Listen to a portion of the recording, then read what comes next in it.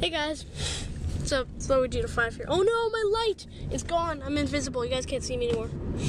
Well, you can hear me. Uh, we're going to see, well, we, as in me and my brother, are going to see Harry Potter Deathly Hallows Part 2, even though he's already seen it.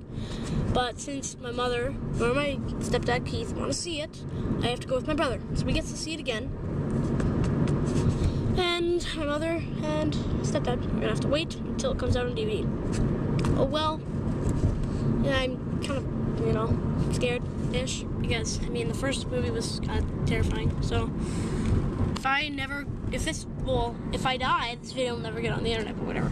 Um, but we'll see how I react after the movie. See you guys later.